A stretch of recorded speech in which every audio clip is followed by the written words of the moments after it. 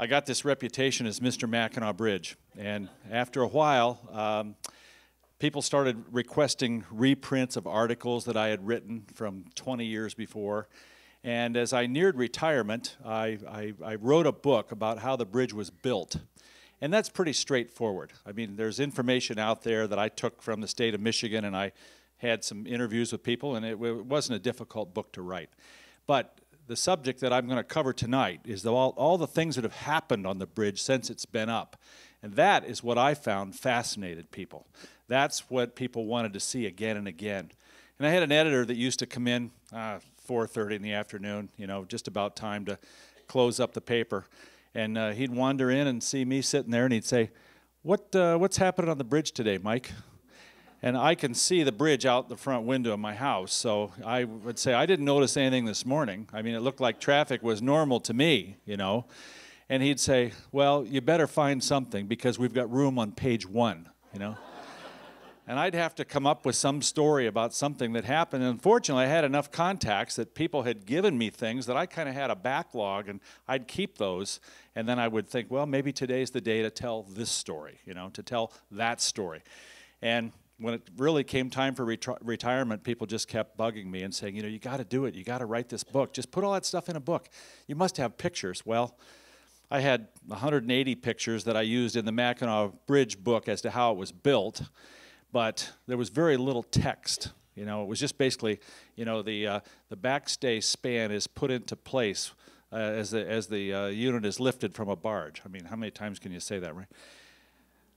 I wrote 21 chapters for the Mackinac Bridge book over three years, and I gathered about 300 photographs.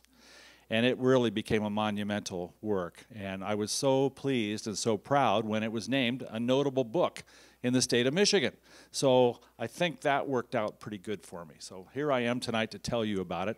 And I like to find out a little bit about what people in my audience know about the bridge before I start because I never know what I'm going to get. It can be very different in, in uh, Grand Rapids than it is in Iron Mountain. You know, I mean, people just have different varying degrees. So let's start with this. Raise your hand, please, if you've never crossed the Mackinac Bridge. Two, Three?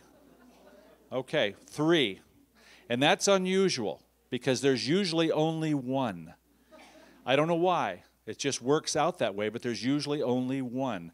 I spoke at the Grand Rapids Public Library. They told me they had 278 people in that room, and nobody raised their hand. And I thought, you got to be kidding me. And I said, seriously? Nobody has, in this, everybody in this room has crossed the bridge. And everybody just looked at me, so I thought, well, I better keep going. And I looked down and I started into the next thing, and there was a woman in the back of the room pacing back and forth, and she was holding a little baby. And she said, Okay, he hasn't been across. so, see, there was one. There was one person, so it just seems to work out, but we've got three. So let me throw some numbers at you, and I want you to relate the numbers that I give you to what you know about the Mackinac Bridge. I'll give you the number, you tell me what you think it could be that would relate to the bridge. And I think you'll probably do really well on this. Three.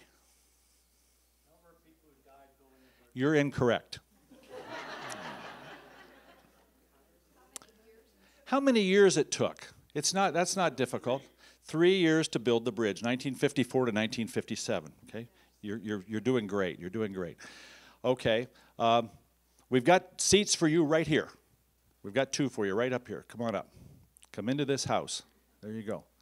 Okay, let's do another one. Um, five. Five miles long. Did you want to try again?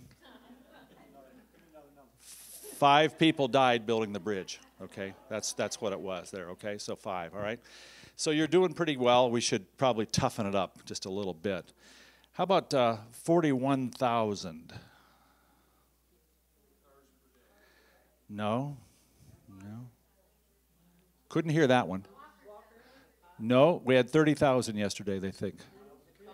Miles of cable. There it is, right there. 41,000 miles of cable in the bridge. Okay? So, see, you're doing great. Now, somebody said, give me another number. Did you want the, a number again? Can anybody else come up with something again for three? No.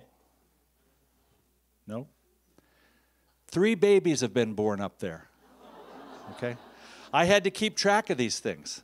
That's the way my job went. I had to keep track of things like that. So if you're looking for a single seat, there is one right here that we saved, right here for you.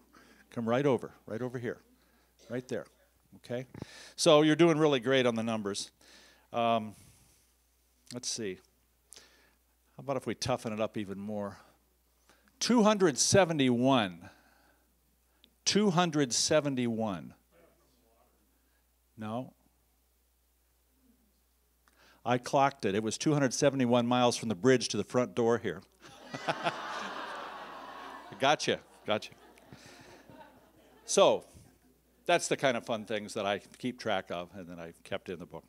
So, I've been to the top of the towers three times. Um, my job as a reporter, I covered police and courts and the Coast Guard Cutter Mackinac, and I covered arts and I covered the bridge. And the bridge probably got most of my time. I used to have hair sh as short as a police officer. I didn't stand out in court at all because I had such short hair. Then I retired, and I now, as a second uh, avocation, have taken a hobby, and wow, did it take off. I now perform as Gordon Lightfoot live in concert and I travel all over the Midwest. And I'm in theaters with a band, and we are in 1,500 to 2,000 seat theaters. And wow, what a, what a great time I'm having with that. So that's really been a fun thing, and Gord is great to me. So I'll come back someday and do that when I have a program on that here. All right, so I've been up here three times. Uh, the first two times the weather was terrible. Uh, the last time the weather was perfect, and the sun was shining and the water was calm and I could hear traffic below and I could hear people talking on boats below and I just thought this is great and I've got to get this picture. So that's the picture I took looking towards the Upper Peninsula. Uh, the last time that I was up there, there was a beautiful cloud bank rolling through, which is not unusual. The people weren't in the clouds, but I had a graphic artist that did that for me later. But these are just people that contributed. They were part of the bridge's history. There were so many wonderful people that had a role in the Mackinac Bridge. So that's the book that I'm here to talk about today. The other one I did for Arcadia Publishing about how the Mackinac Bridge was built. So you remember these days? Anybody uh, come up to the Straits back in the days when you had to sit in line, you know, uh, 20 hours out on the highway? And uh, yeah, that's the way it was. And the old saying was once you got to the dock, you only had four more hours to wait. because that's the way it was. And we didn't know any different, and so people would just have to do that. Um, the, uh, the state of Michigan had a lot of money invested in boats and in docks and in jobs. And, you know, talk about a bridge, nah, you know, we're not sure we really need this. And people would complain and they would write letters. And one year, uh, the mayor of our town got a letter back saying, Again, you've written to me asking why there's not a bridge, you know. And uh, geologists say it can't be done. Nothing exists bigger than the Golden Gate. This would have to be bigger than the Golden Gate. And lastly, uh, we were up there three times last year, and we drove dr straight to the boat. We didn't even have to wait in line. Well, the three dates that they were there were December the 19th, February the 23rd, and April the 6th. You know, of course there was no line then. But during vacation season, during hunting season, during vacation times, Memorial Day, holidays, 4th of July, Labor Day, wow, I mean, yeah, the lines backed up, and, and that's the way it was. They were ready for you in Mackinaw City, though. They used to have hoses to the pumps of the gas stations that would stretch all the way to the curb because people wouldn't dare get out of line. You'd never get back in that line. And so people would just pull right up and they would just, uh, you know, even walk up if they saw they were running low. I'm going to need fuel, uh, a, a, fuel up uh, with this green Plymouth back here. Didn't everybody drive a green Plymouth back in the 50s? Seemed like they did. But that's the way it was, and we needed to get a bridge built. And geologists said, can't happen. You know, the, the bottom of the straits is limestone there's caves and caverns under there. Uh, a bridge would just collapse it, it'd fall down. Um, bigger than the Golden Gate? Wow.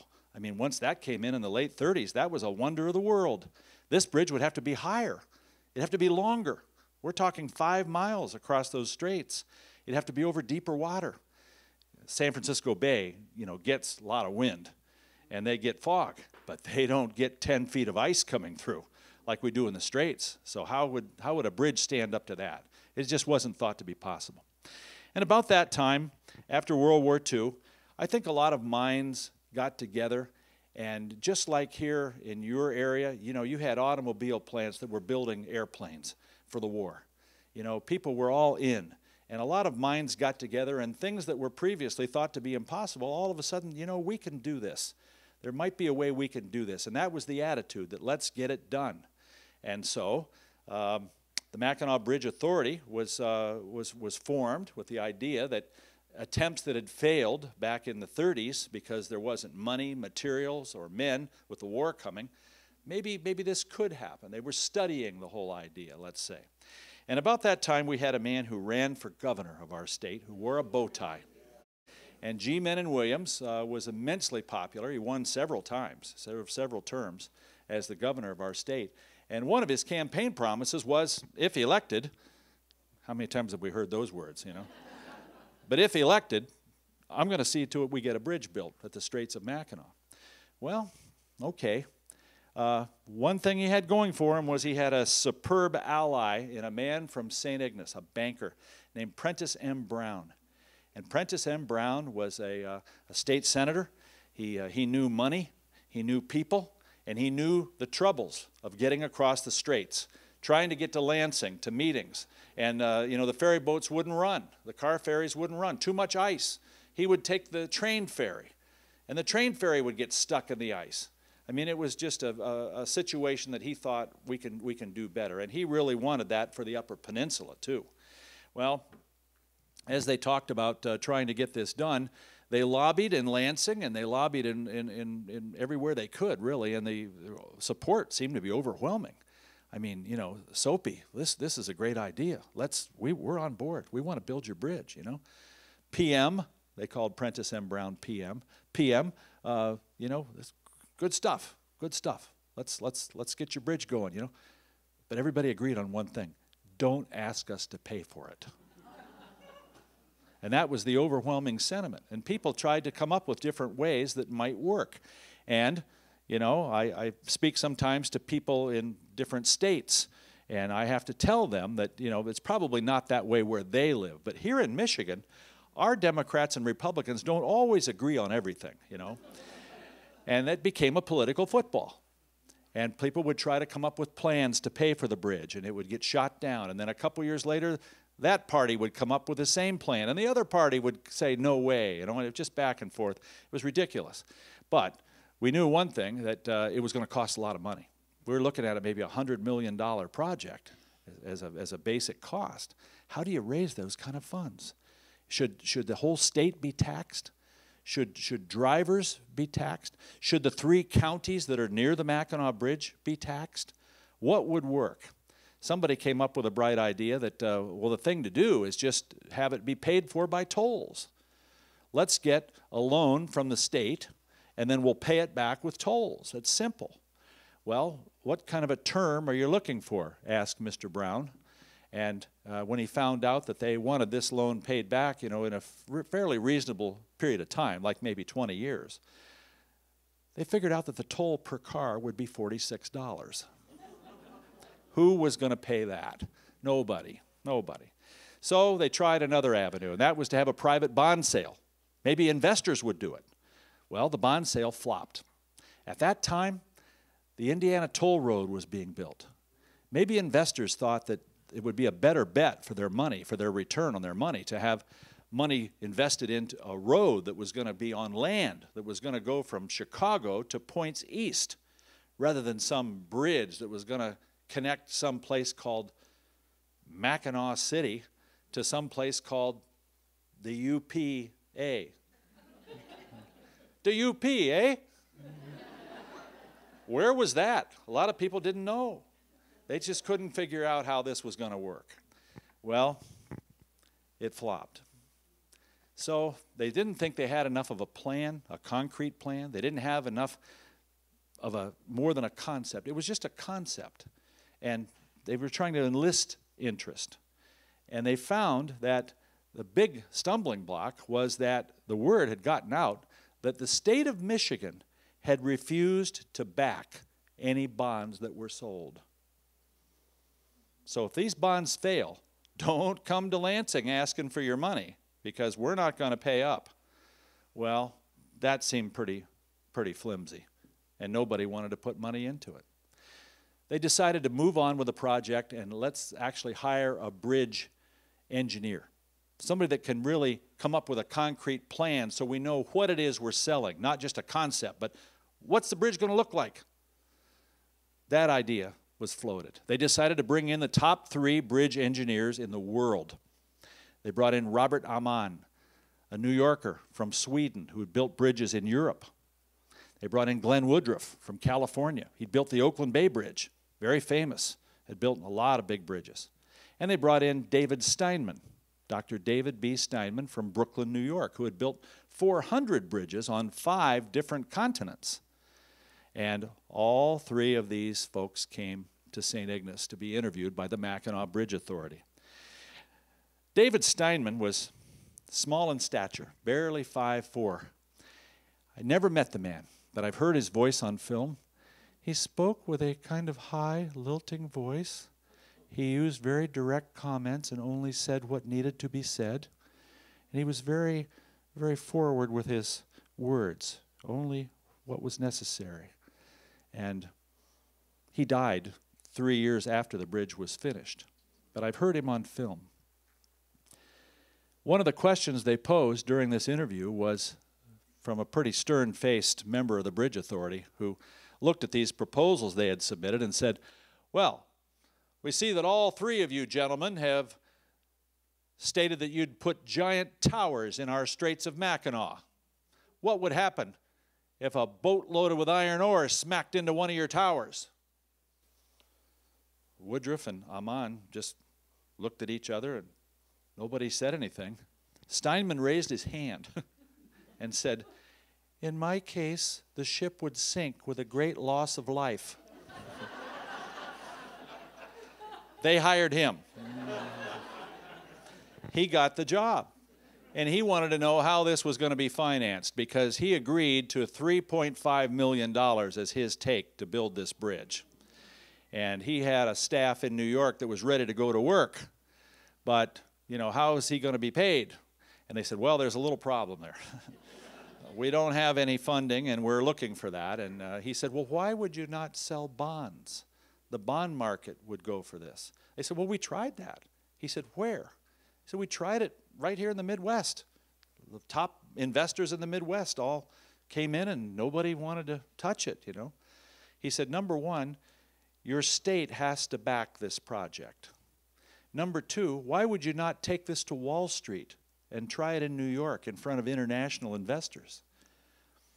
They said, wow, if the Midwest people don't want it, why would the international bond market like it? He said, smart investors will know the value of an investment like this.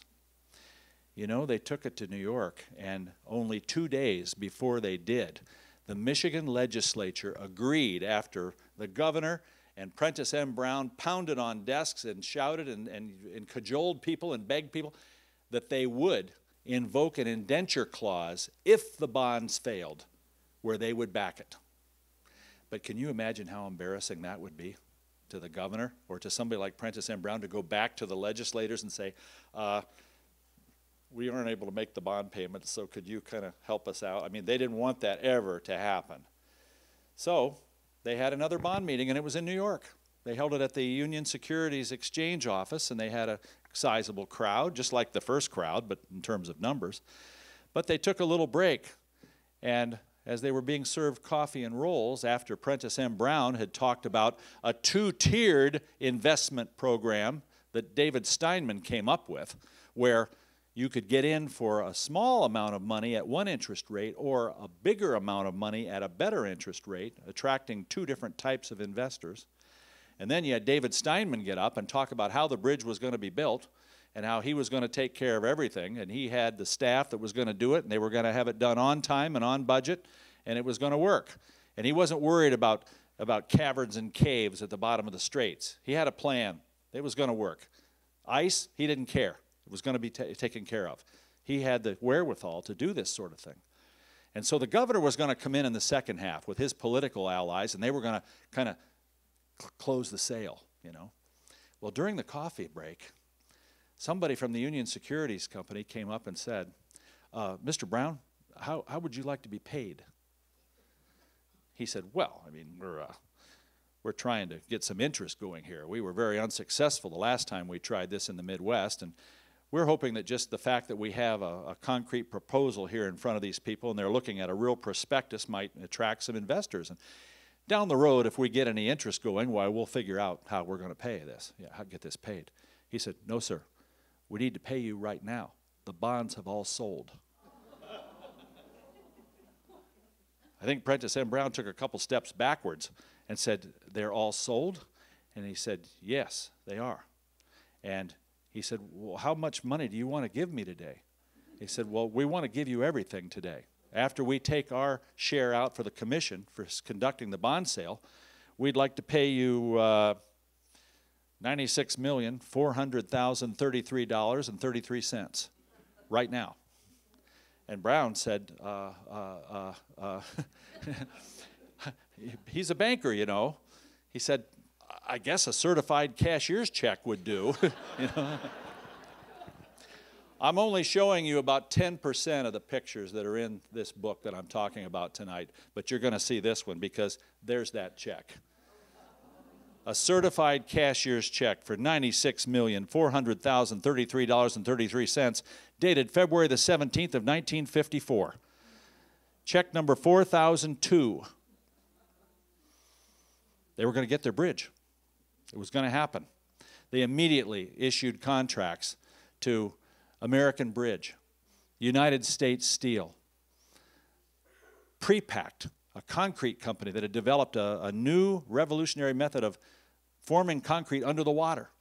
All these big corporations signed on and they had contracts, and let's go. 6,000 people came to the Straits to build that bridge. The population of St. Ignace is 2,700. The population where I live in Mackinaw City is 878. Can you imagine having 6,000 people in town? You know what? You could make a few extra bucks if you rented out that spare bedroom. And if you could make sandwiches and bring them down to the sidewalk at lunchtime, somebody's going to buy them. These people need to be fed, they need to have a place to go to sleep. And there are people in the Straits that are still in the motel and the restaurant business because their grandparents started out that way and learned how to take care of people and it's hospitality. And that's where it began in our area right there.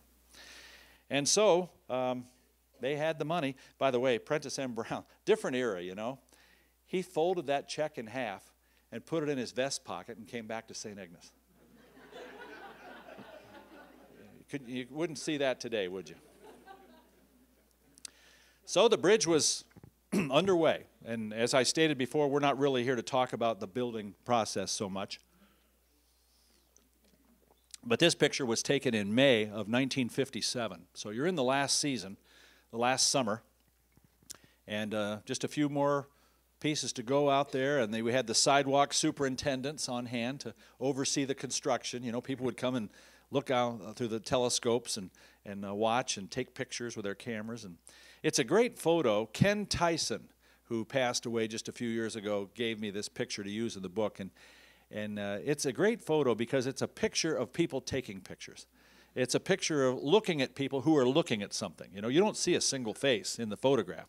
But Ken had this uh, picture up in a frame right above the cash register in his gift shop of his restaurant. And people would come up to pay their bill, and they'd say, you know, can you tell me who, who, who took that picture?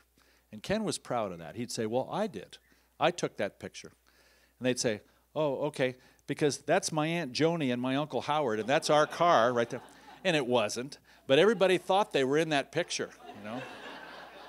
they remembered being at the Straits. That's how people looked. That's how the cars looked, and that it had to be them, they thought. But of course, it, it wasn't. But uh, he had a lot of fun with that over the years. So the bridge was all set to open up on November the 1st of 1957. And I'm going to introduce to you a man now who helped me a lot with this book and who wrote the foreword for it, Larry Rubin.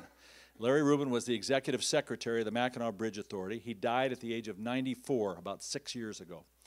And Larry was an incredible guy. And uh, he told me that um, they came to him and said, uh, Lawrence, we're ready to open on November the 1st. And he said, Well, are you sure? They said, Yeah, we're going to make it. We're going to be there November the 1st. By the way, they finished paving the roads a day and a half before the actual opening ceremony. So they just got done in time. But we want you to have a, a nice ceremony, something to really open up the bridge. We're going to have the governor here. We're going to invite all the media. There's going to be lots of people coming here. So put it together, will you? Now, how are you feeling about doing something outdoors in Mackinac on November 1st? You know, probably not a good idea. And so the whole idea was, you know, how do we pull this off? And Larry Rubin said that he, he went back to them and he said, look, we'll open the bridge that day and we'll have the ceremony and we'll have a first toll get paid by the governor. But let's have a dedication the following June, third weekend in June, and the weather will be perfect and everybody will come up for that. You'll get a lot more people. So they said, Larry, you're a genius. Let's, let's do it. Let's do it that way. So November 1st came, and you know, it was kind of spit and rain, a little foggy. You could see the bridge, but in the morning it was uh, not uncomfortable. Uh, you see raincoats, but no real heavy top coats, no wind blowing, unseasonably warm for a November 1st in the Straits. And the headline in the newspaper said, Michigan is one. Our state had finally been joined, it was united. No more ferries carrying cars across for $3.25. Now it was the real deal. We had a bridge. And so uh, things proceeded nicely that day, and the governor was there, and he was riding in a, uh, a convertible, and Mrs. Williams was right next to him, and and there's Larry Rubin at the wheel, driving. Prentiss M. Brown wearing a hat right behind Larry Rubin. And they stopped out at center span and they uh, posed for a quick photo that the Bridge Authority took. And then they were ready to go and leading this procession of cars, which had the governors of all the other 47 states.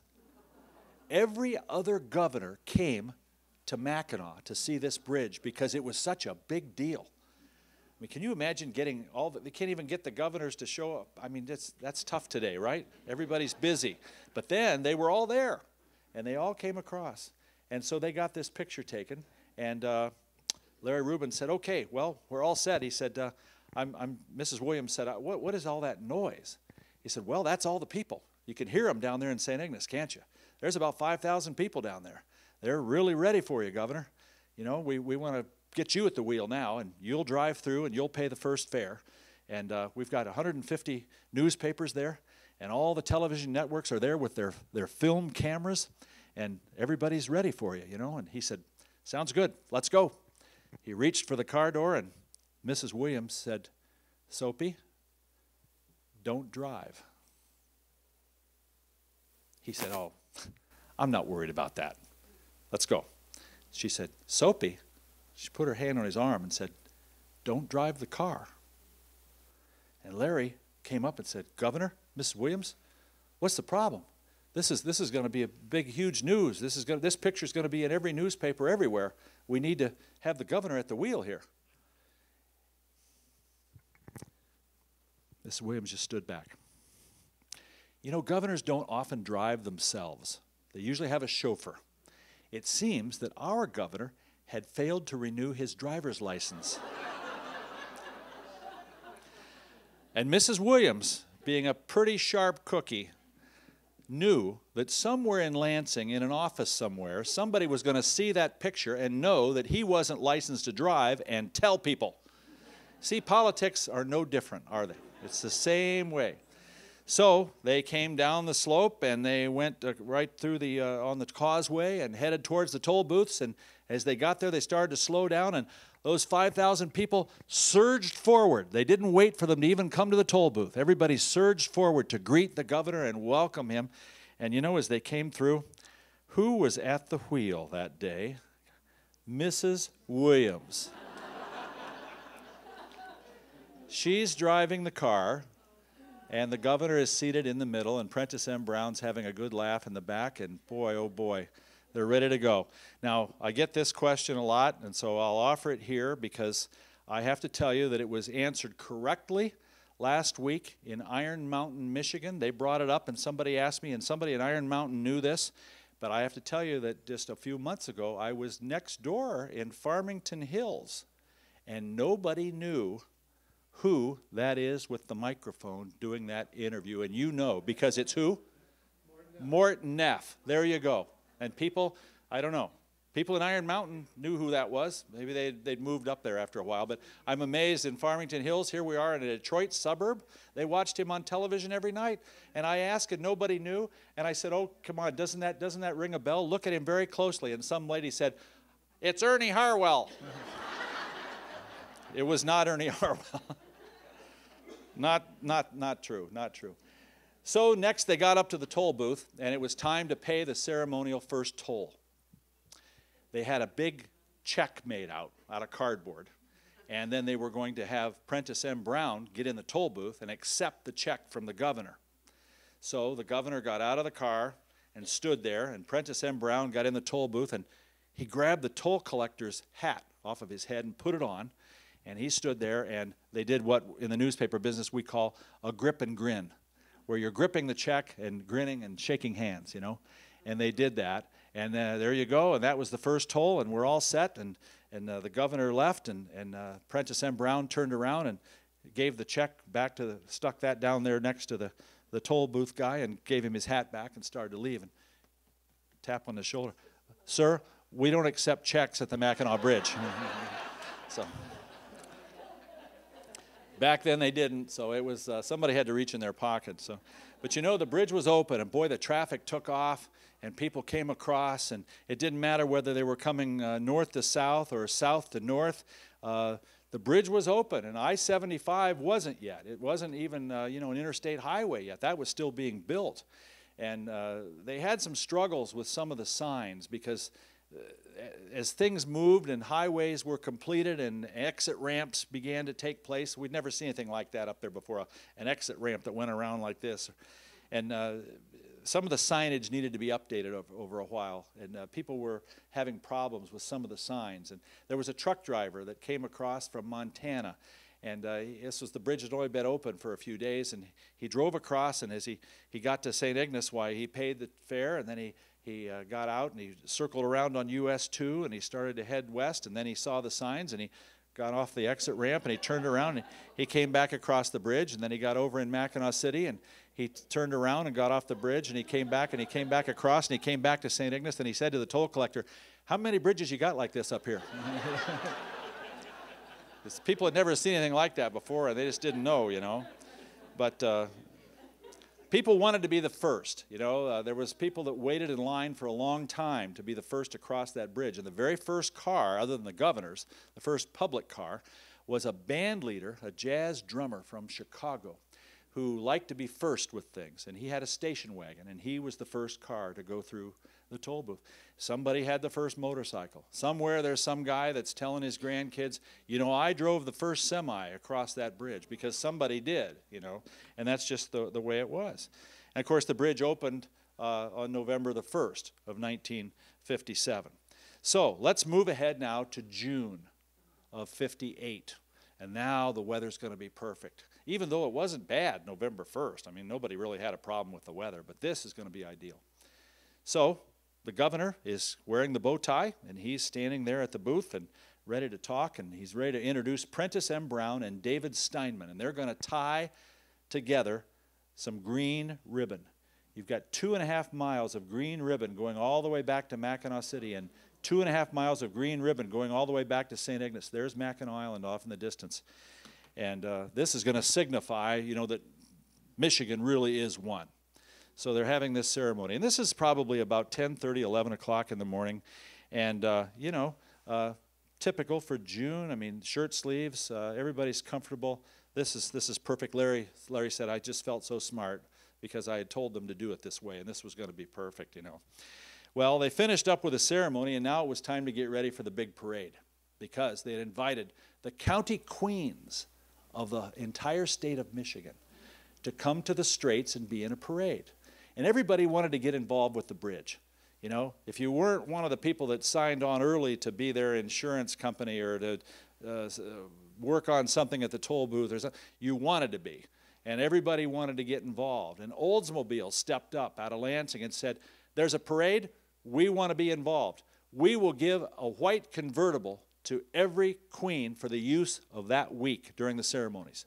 All she has to do is go to her local Oldsmobile dealer and pick up the car. Have her dad pick up the car. Her dad can drive the car, mom can ride along, and all they have to do is sit there in the back and, and do the wave, you know. Give us the list. Tell us who the queens are. We'll make sure there's a car there. And it happened.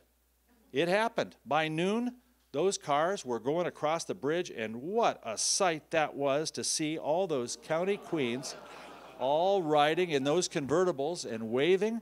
And uh, it was just amazing that that worked out so well.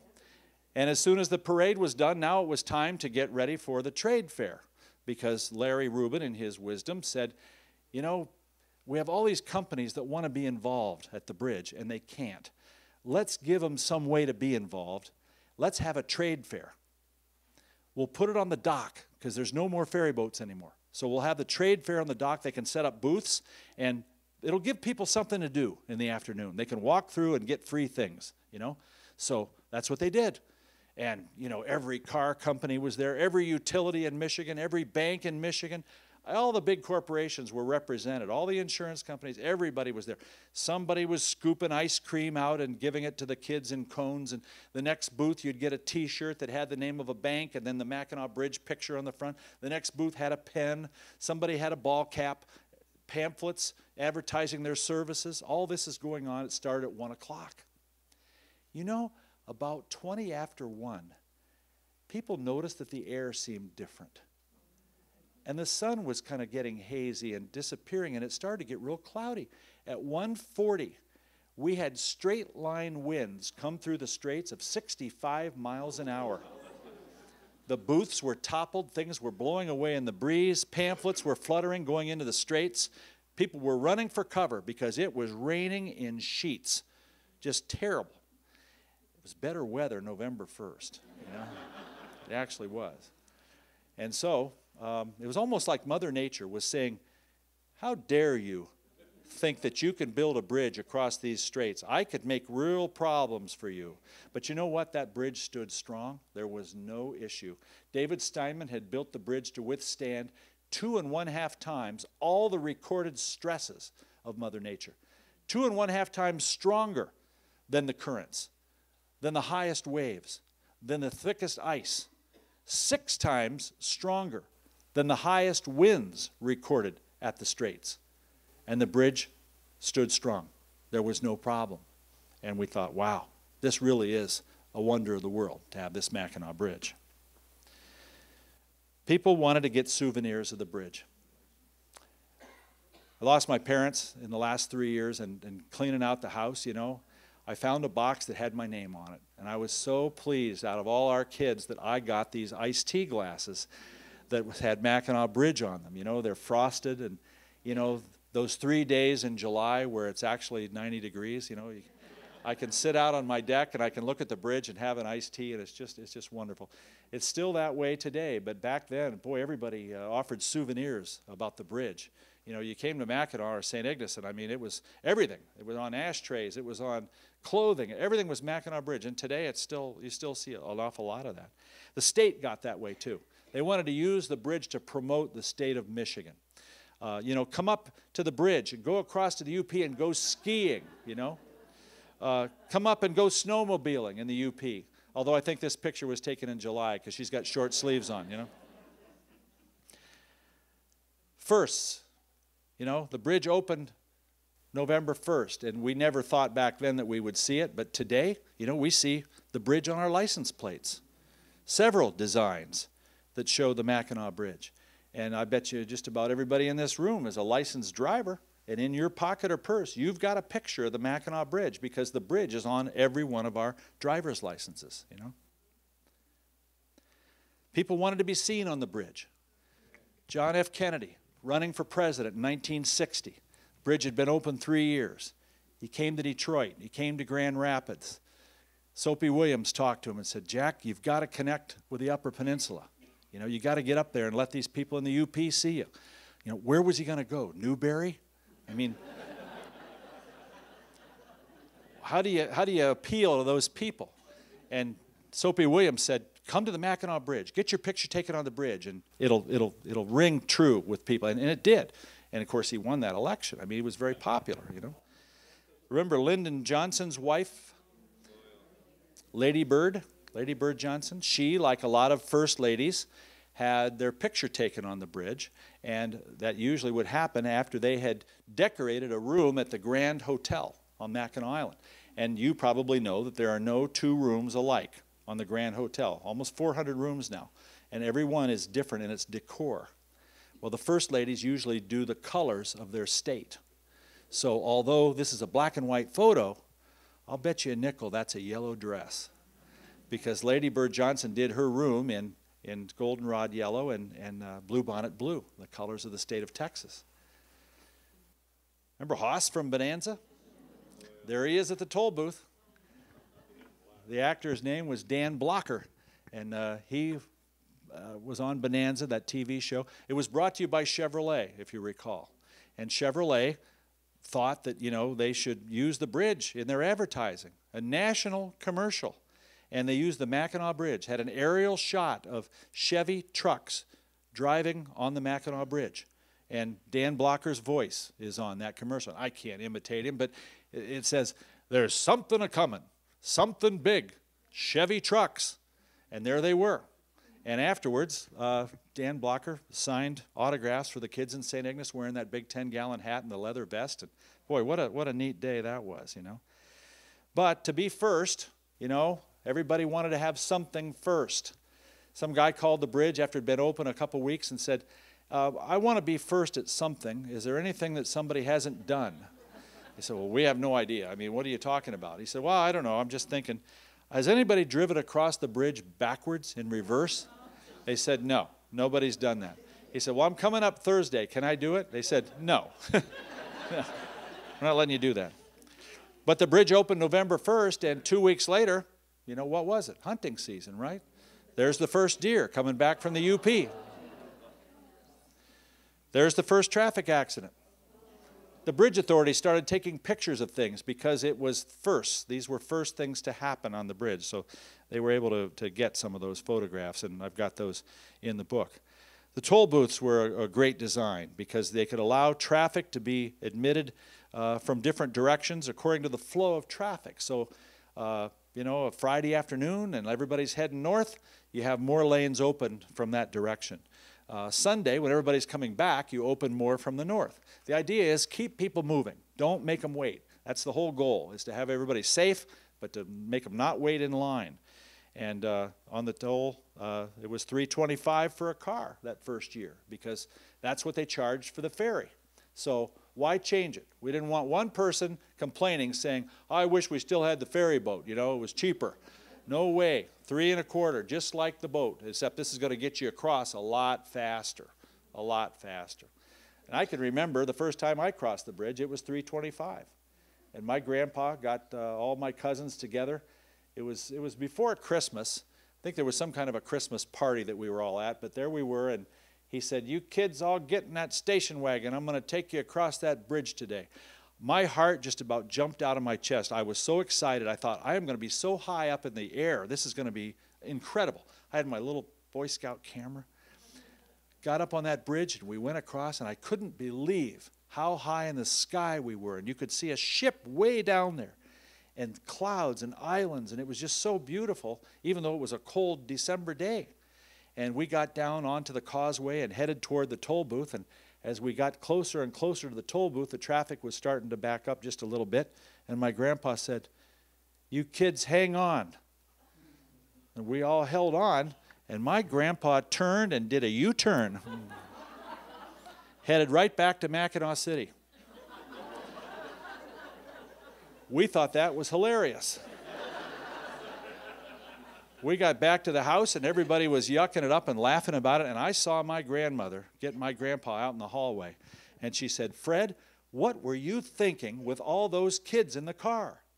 He said, I didn't mind spending 325 to show them a good time for 15 minutes or so, but they were going to charge me to come back. And our bridge has always done that. It's always charged a two way toll. Big bridges in the east and on the west coast don't. They charge one fare, but it's higher. You pay more, but you pay one way. The feeling was if we did that, it was going to make it like you had to pay to get into the UP. And they didn't want that. They wanted this to open the UP, not be a barrier. And people said, well, why don't you charge the other direction? Actually, there's a much higher traffic flow going north than there is going south. So it would have meant a significant loss in revenue had they charged that direction. So they've always charged both ways. And that's the way that it's always been since the beginning of time.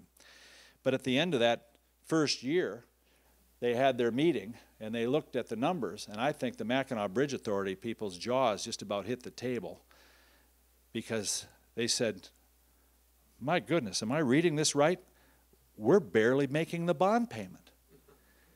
He said, That's right. A lot less people crossed the bridge in the first year than we thought, but we're able to make the bond payment, but just barely. They said, Well, this is, this is like by the skin of our teeth. He said, True, but more people will cross the bridge next year. They said, Well, what if they don't? Well, there was a lot of discussion about that. And they finally decided what they would do is just to be sure, they would raise the fare. So they raised it to 350. And after the second year, they had their meeting. And you know what? Fewer people crossed the bridge in year two than had crossed the bridge in the first year. They were barely able to make the bond payment. The only way they made it was because they had raised the fare. Now, what do you do? Well, there's nothing we can do but raise it again. So they did. They raised it to 375. And you know, about then, it really became evident that people didn't have the money that would come up there. That was a lot of money in the 50s. A lot of money. A friend of mine that worked on the bridge used to tell me that he got paid more than anybody he knew for working out there. I said, Well, how much? How much did you get paid? He said, Well, I made more than anybody. I said, Right, but how much money was that? He said, Well, I climbed and I worked at night and I had the highest rating in my union. I, I had more experience. I got paid more than anybody that I knew out there. I said, Right. How much was that? He said, Well, he said, by the time it was all done, I was up to 355 an hour. 355 an hour was a pretty good wage back in 1957. So 375 to cross the bridge, a lot of money. People would come up to the toll booth and they would say, uh, uh, yeah, um, 375 now? Uh, yeah, they had to raise the fare. Oh, um, hey, would you take $2?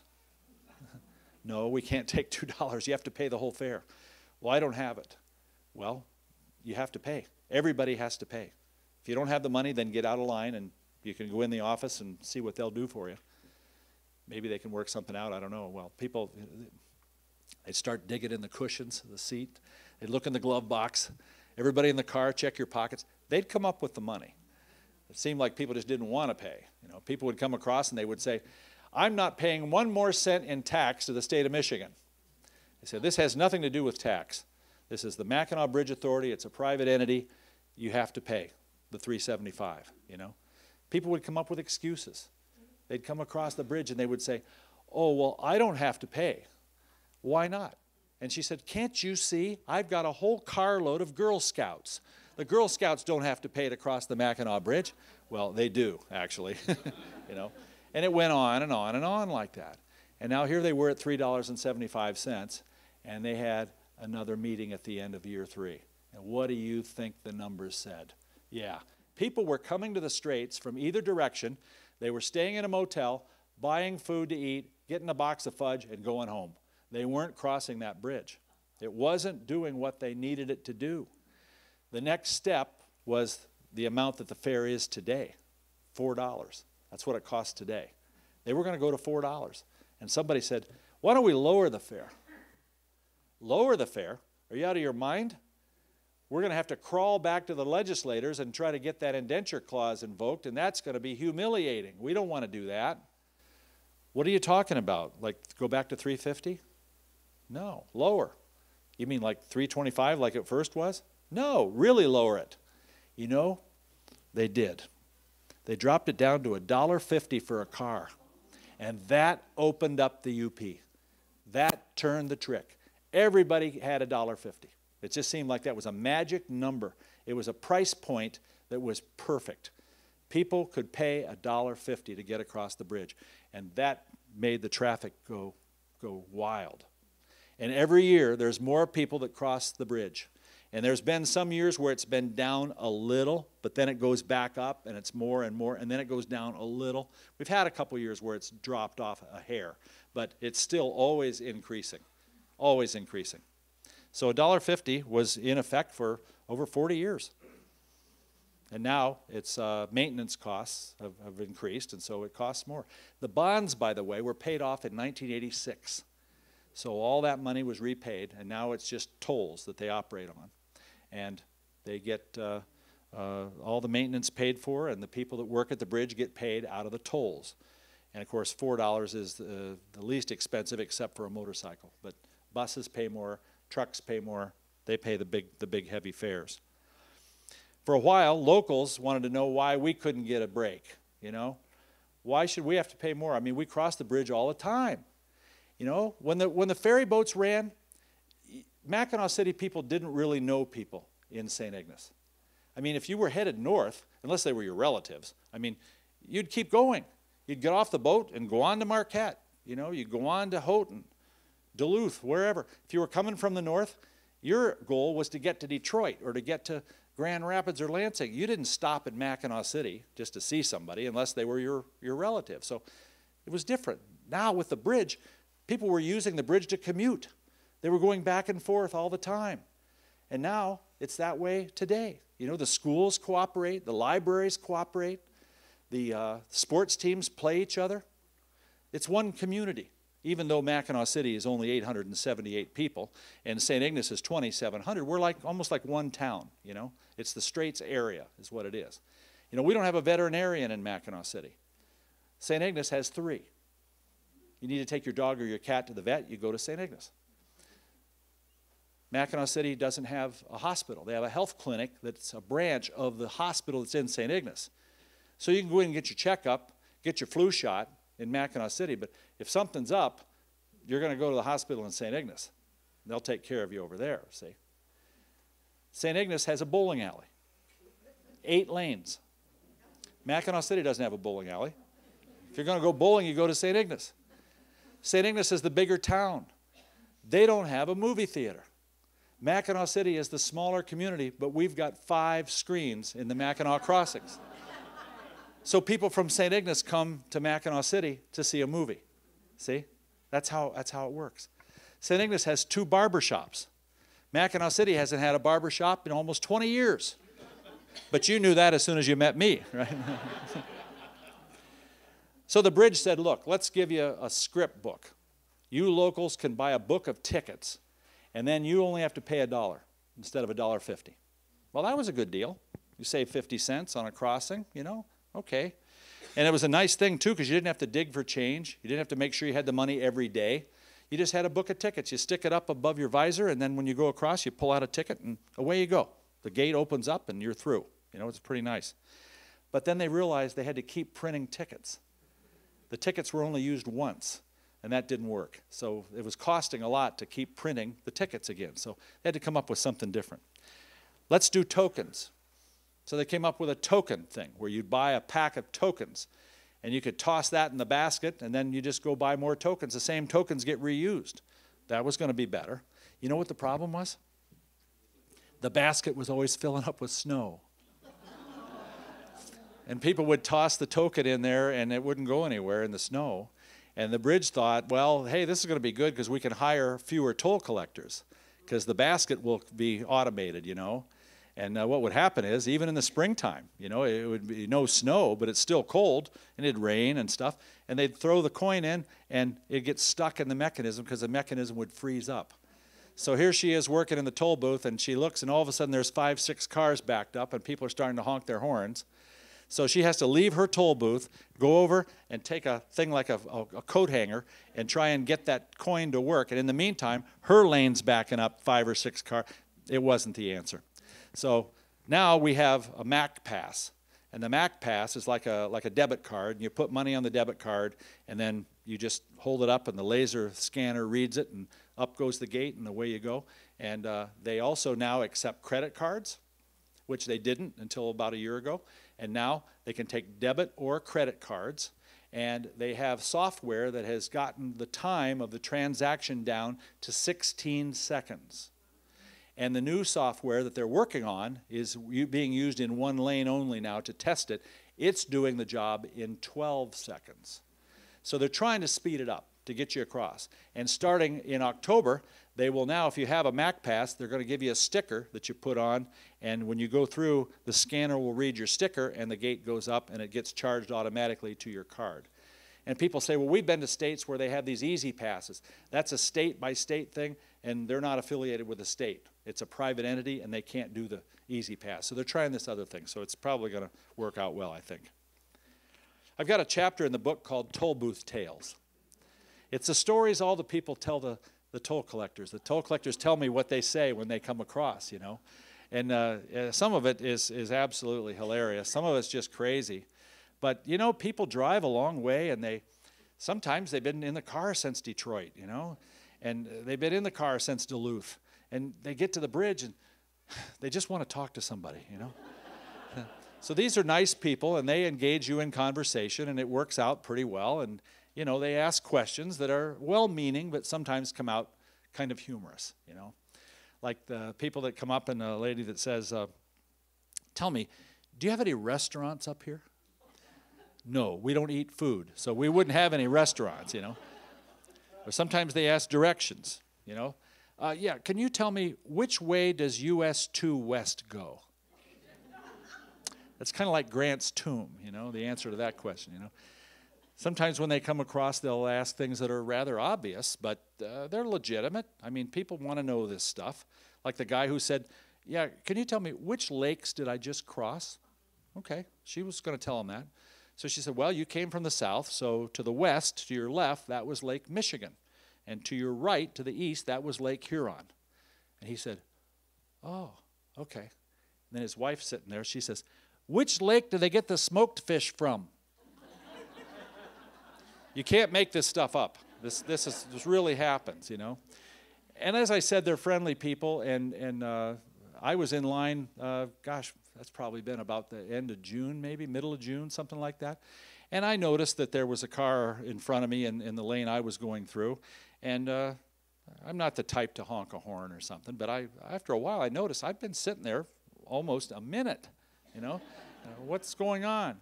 And now it was 90 seconds. And as I looked ahead, I could see that, you know, I could see his arm coming out of the window of the car. And what I saw was, was this, you know.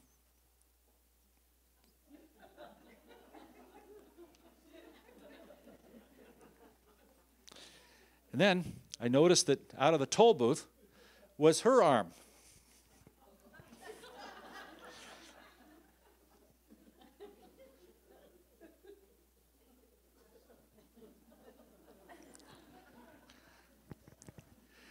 You know, rarely do I have a screen where I can do that. That was, that was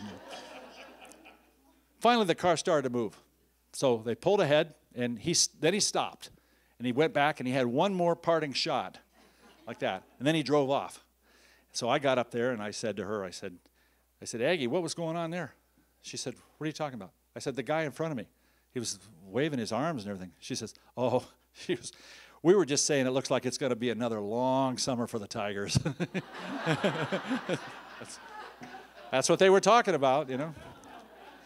But people come up and they expect the toll collectors to know things about everything. And they're not allowed to have a radio in there or a TV or a phone. They have to concentrate on what they're doing, you know. All they do all day long is make change and run cards now if they got that, you know. But they just make change constantly, constantly, constantly.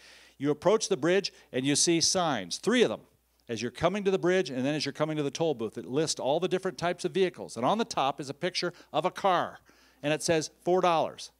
And they get there and they say, How much is it?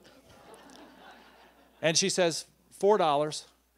Oh, oh, okay, uh, $4. Uh, yeah. Um, oh, do you have change for a 10? You don't think she's got change for a $10 bill in there, you know? I mean, really, you know? Sometimes when they come across, they uh, ask about the weather. You know, oh my, is it snowing this bad in Marquette? How does she know? You know?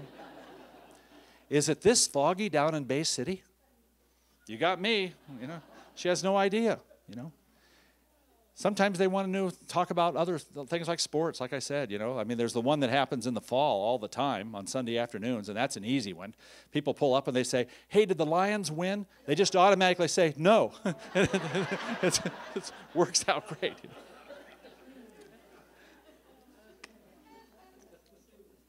And then there's the one that they get once a day in the summer, guaranteed.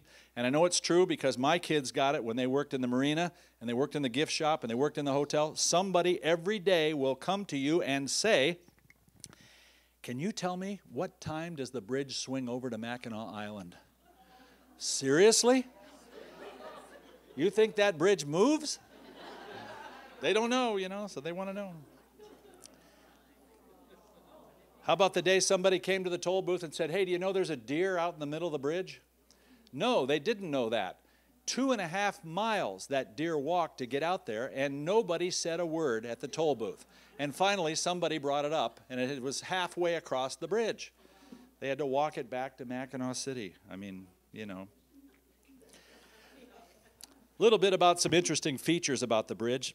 David Steinman put 31 finger joints in the bridge. It's almost like if I put my hands together and then laid it flat, those finger joints can stretch the bridge. The engineers tell me that if you had wall to wall semis, all four lanes, Mackinaw City to St. Ignace and back again, the bridge, five miles long, could become 28 feet longer than it really is just by stretching. Okay? Same with the uh, side stay cables. Um, Steinman put those graded lanes in the middle, you know, the ones you don't like to drive on. Those are there because it allows air to flow through. Rain can drip through, so you don't have standing water on the bridge, and consequently, you shouldn't have ice. And they don't salt the bridge in the winter, they sand it. So that is an aerodynamic feature that helps the bridge flex. It doesn't resist Mother Nature at all, it just flexes. The side stay cables that I talked about are held up by the main cables. The main cables are about the size of a number two lead pencil and there's 41,000 miles of cable. The cable's banded together into a circumference about like my arm. Those are banded together, and pretty soon you've got a 24 and a quarter inch column that's encased in a pipe.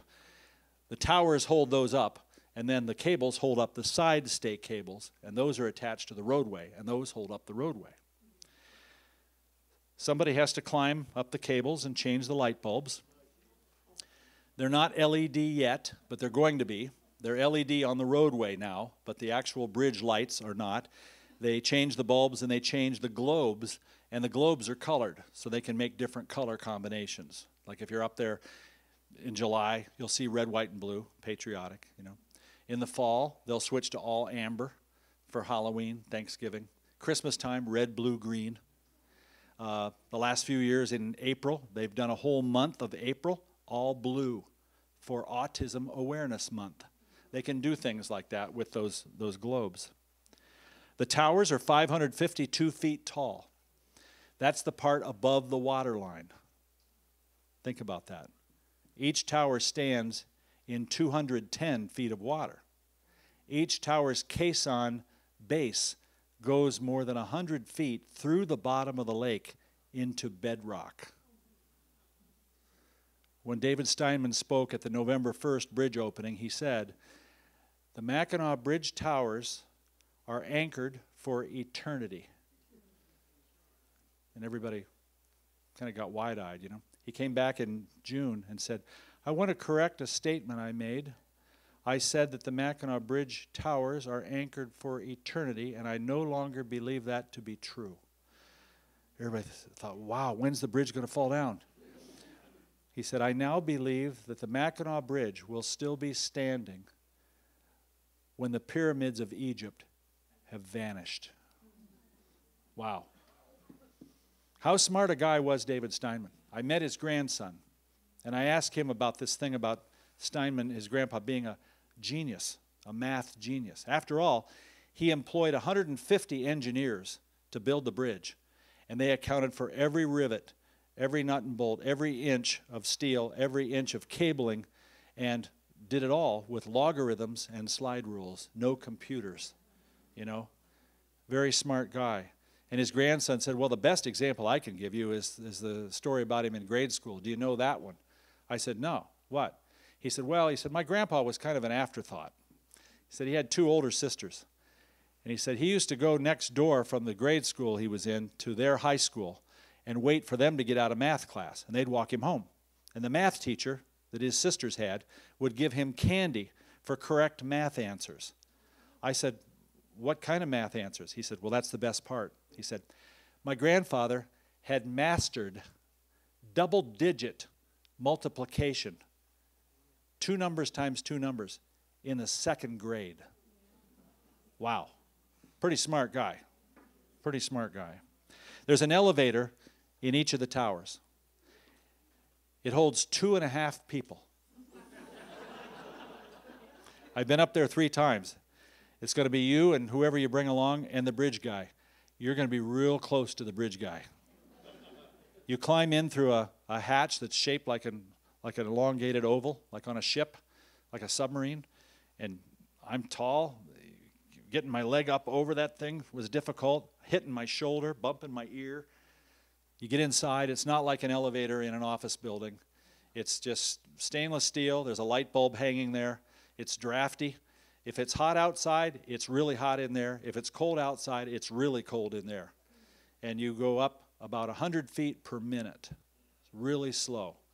And it can go from the water line to the bridge deck, any of those stations all the way up to the top. When you get to the top, you climb out, and you got to climb out the same type of a hatch, and then you go this way, and there's crisscrossing beams. You got to climb over those. Whatever you're wearing, you're going to get dirty. You go all the way to the wall. Unlike the ladder that we have angled to clean out the gutters, there's rungs that come out of the wall, and you climb straight up 30 feet to get to the top. And then the bridge guy undogs the hatch and flips the hatch over, and then you climb out and you're on top of the world because you can see, for, it's like forever when you're up there. And there's a railing. I mean, the railing is probably code, so code is going to be like a doorknob or a, a, railing, you know, like these tables are probably pretty close to, to code. The first time I was up there, I swear those railings were below my knees. They looked so low. I thought, I'm going to lose my glasses, I'm going to lose my hat, my camera, everything's going to fly away, you know. And um, bridge tower tours used to be something that were pretty accessible. You could get to do that. Um, if you knew somebody or if you were patient, you know, you showed up early in the day and you said you were willing to wait, and is there a chance that we could get to the top of the tower? Somebody from maintenance, if they had time, they'd probably do it, you know. All that changed on September 11th of 2001, no more. Now, the only way you can get to the top of the tower is if you win uh, a lottery or an auction that maybe your charitable organization would put on because the bridge gives a certain number of tower tours to groups that have a 501c3 tax designation. And they allow them to auction it off or have a you know a, a drawing or something. And uh, some of these have gone for $3500 in auctions. So i mean it's a it's a big deal to be able to get up there anymore. But uh, if you win you'll be vetted they're going to do a background check on you. They want to know who you are, what you've done, what your story is, because they don't want somebody causing a problem up there, you know. It's just a different world, you know, today.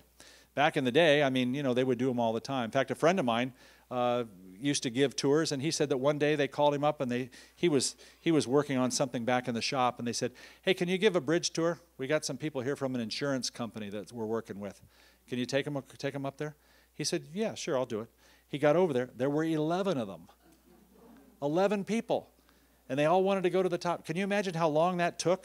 Two at a time, taking them up, getting it, coming back down empty, taking two more up, coming back down empty. You know, it took a while. The last guy had like a raincoat on. It was a really windy day. And he just was wearing a raincoat, didn't say much. Quiet. Getting on in the elevator, going up there, didn't didn't offer much. Climbed up the, the ladder, got out there my friend started into his spiel, you know, Everybody's standing over here now. So, okay, so this is uh, St. Ignace, and over there is Mackinaw City. There's Mackinac Island. There's Round Island. There's Bob Island. He's talking, and the people are over here, and this guy is over here by himself at the rail, just standing here, you know. And he thought, why is this guy over here? You know, come over here so I don't have to shout to everybody, you know. And he's watching the guy while he's talking, and every once he'd look over at him. Finally, he sees that the guy is unbuttoning his coat. He's reaching inside his coat, and he brings out this box. And he opens up the box, and he's got a plastic bag in it. And he unzips the plastic bag and it's just windy as all get out. And he starts to shake this bag like this. His buddies are saying what are you doing? What are you doing? And my friend said what are you doing? The wind's too windy. What, what do you got there? What do you got there? He turned around he said oh i'm sorry he said my neighbor helped build the bridge and i told his widow i'd scatter his ashes from up here you know all of his friends had cremains in their hair in their face. It was all over them, you know. I mean, it's a very fine dust, and it was just all over. And uh, one of the guys said, uh, Was it Robert? Which neighbor was it? Was it Robert? And he said, Yeah, it's Robert. And the guy leaned over the railing and he said, Robert, I feel terrible. This is so disrespectful. These things happen. Bridge has been hit by lightning many times very strong, very well grounded, fiber optic cables and uh, different communication cables that go across the bridge, nothing affected because it's just so well grounded into that bedrock that Steinman uh, bypassed all that limestone completely and just went right into bedrock to ground the bridge. They take real good care of it maintenance wise. They're always keeping it clean, keeping the snow off of it. They got to work 24 hours a day, seven days a week. And uh, yes, the bridge does close. Um, wind conditions can do it, uh, whiteout conditions can do it. But most of the time, when the bridge closes, it's because ice is falling from the cables or the towers. And that happens in April and March. And the sun hits it at a certain angle, and they can watch it with binoculars, and they can tell when it's going to stop, when the angle changes, and then they know it's not going to do it again, so they can open up the traffic again. So that's all, uh, all happening all the time. Uh, if you need special accommodations to cross the bridge, you stop at the toll booth from the north. If you're coming from the south, uh, there's a booth uh, you see here right in front of Audie's restaurant, and you just go in there. You can make a phone call. Hey, I need uh, transportation across the bridge. I'm, I'm a pedestrian. They'll come and pick you up. They'll take you across. They charge you, not as much as a car, but they'll get you to the other side. They're open for business. They're open to help you cross the straits. Uh, if you're on your bicycle, you can't ride your bike on the bridge. So they've got a pickup truck that has a bike rack in the back. They can carry four bikes. Extended cab, they can carry four passengers. They'll get you to the other side. Well, we're on our snowmobiles. No problem. In the winter, they have a flatbed truck that can carry eight snowmobiles. And they go rest area to rest area, and they'll take you across. You don't want to drive your snowmobile across the straits. The, the is out there cutting ice, and that's not going to end well for you. so that's how that works. Um, all that's taken care of right in the booth. Uh, they keep track of every every single admission or every single crossing, I should say. Uh, they know how much you pay. They know what class your vehicle was. They scan your license plate now into a computer automatically, just like at the border. And you know, people come to the toll booth and they say, "Do you need to see my passport?" They think they're going into Canada, but they're they're not. You know, but they scan your license plate, so it's a good thing for law enforcement too, because you know, the police will call and the state police will get a call. It's right across the street. The post is right across from the bridge. And they'll get a call and they'll say, hey, somebody just held up the bank in Rochester Hills. You know, did they head north? Well, what are we looking for? Well, you know, it's a, small red pickup. It's got this license plate. Okay. No, haven't seen him yet.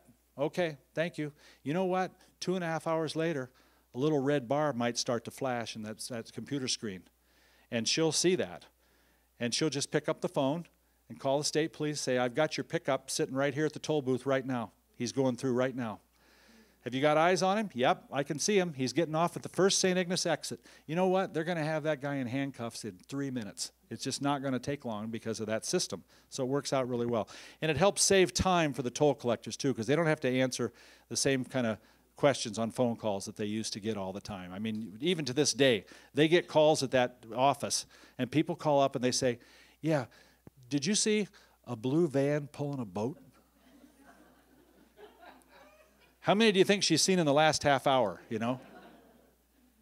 And then there's the one that used to happen a lot during hunting season in the old days, you know, before cell phones. You know, a woman would call and she'd say, I need you to help me. I need you to stop my husband when he crosses the bridge. I say, okay, why? What's going on? Well, he's going hunting in the UP, and I just noticed in the closet I found his deer rifle.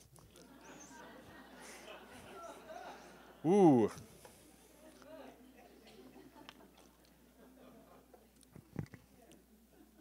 What's going on here? This lady is afraid to drive across the bridge. So, the bridge guy drove her car. He was followed by his buddy in the patrol car. He's uh, now arrived in Mackinaw City and he's getting out and he's going to go with his uh, pal back to St. Ignace. She's going to come around, get in the driver's seat, and away she goes. She's, she's afraid. There's no charge. You got to pay the toll, but you don't have to pay extra to have somebody drive your car, your motorcycle, your motorhome, a semi, a passenger bus, you name it, they've got people that can drive it. We get about 1,300 requests a year. So it's several per day. It's not unusual at all. If you're afraid, just let them know. All you have to do is get under the dashboard and close your eyes. Sometimes we get oversized loads or half of a house or anymore you see these big blades from one of the windmills one of the wind turbines you know those got to go slow. And so they'll escort them across at 20 miles an hour and make sure that they're safe.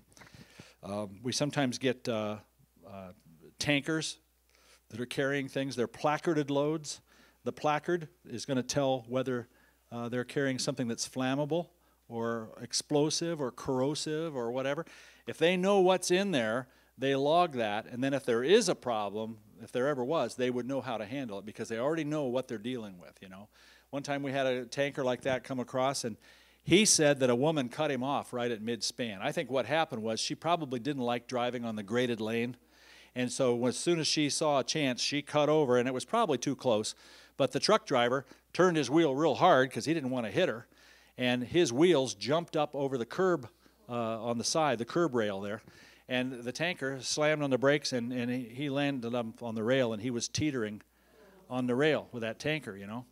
So he was screaming and they brought out a, a crane. They were going to get a crane company to come out and help him and pull the thing back. And uh, get me out of here, get me out of here. Anyway, somebody was under the truck and they, they said, hey, buddy, what are you carrying in the tank? He said, milk. They started turning the valves and they opened them up, and all that milk came out, and they emptied the tank. And it all went on the road, and it went down into the straits. We had white beaches for two days. and when the load was released, that tank just dropped right back over, and he was on all 18 wheels again.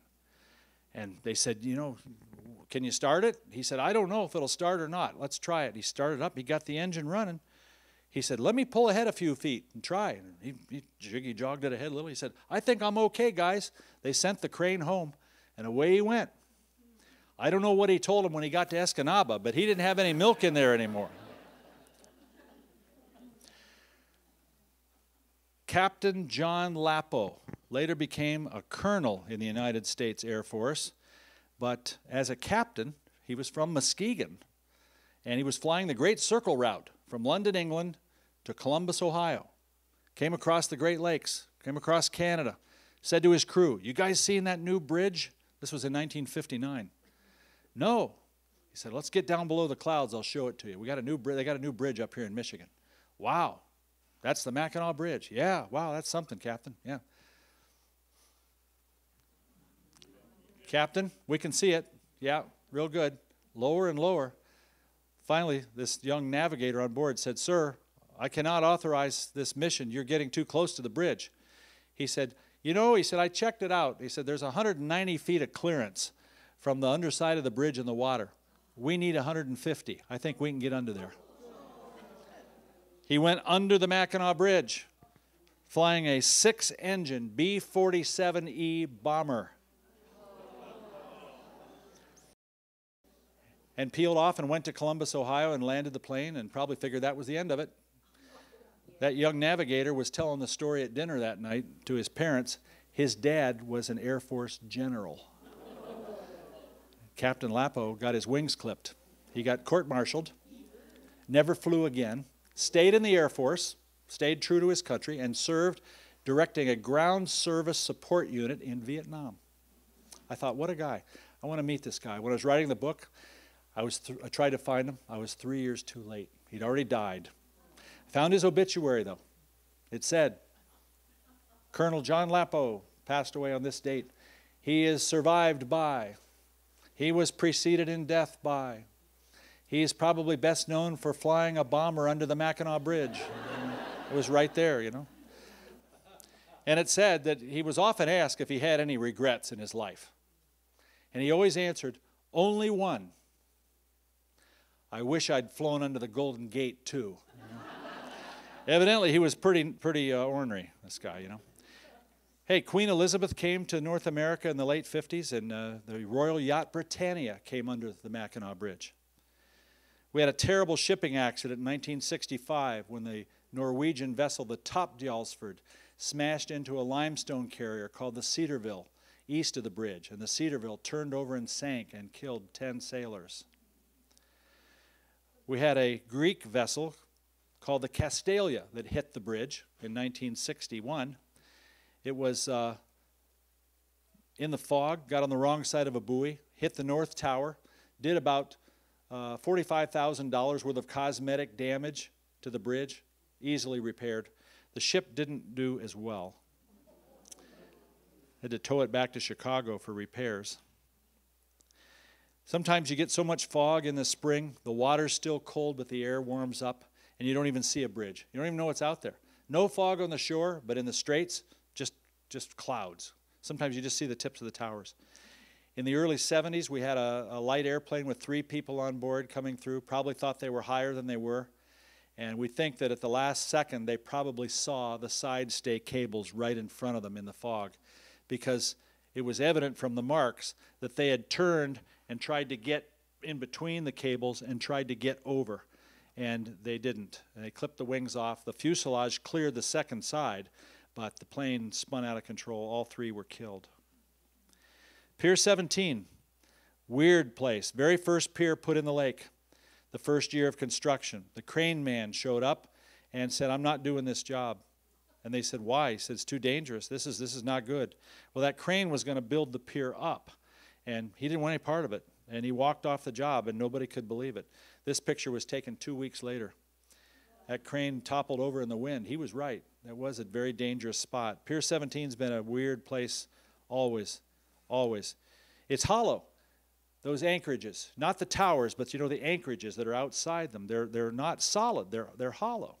And you would think that they'd be solid concrete, but that's actually where all the cabling gets anchored is right there. It's all splayed out and all that pressure is right on that pier. You drive across that pier and you always feel a little shudder in the wind. It's, it's just a strange, strange place. It's also the only pier that ever moved. The first year, the engineers measured everything. All the piers were in the water, and they said Pier 17 moved. The one to the north is Pier 22. It didn't move, but 17 did. David Steinman was very upset.